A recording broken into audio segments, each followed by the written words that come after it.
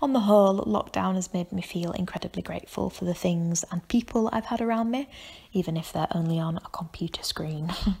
um, certainly, a challenging part of the pandemic has been that I haven't seen my mum, who's a care worker, and my brother, who's got special needs, for a very long time.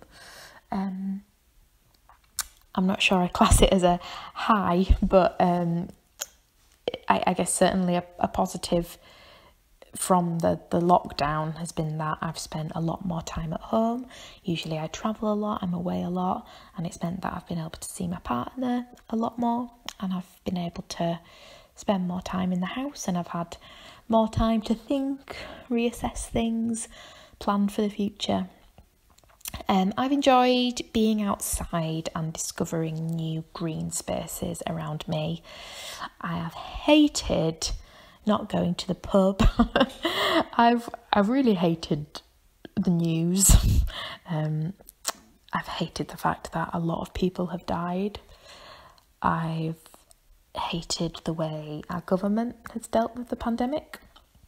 My hopes for the coming months I truly hope that the vaccine is a really positive thing and slowly things can start opening up safely.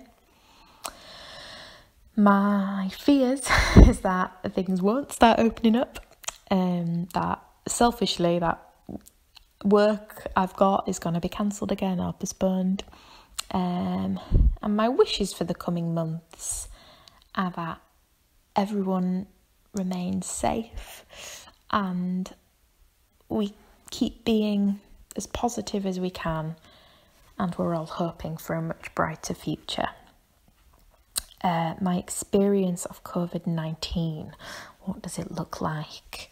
Oh, it looks like a lot of walks and coffee and Netflix and Zoom calls.